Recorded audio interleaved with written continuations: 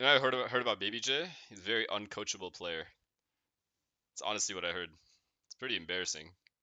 How are you uncoachable? That's not Toki. That's not what I'm saying. He is uncoachable. she said. She said he coached me.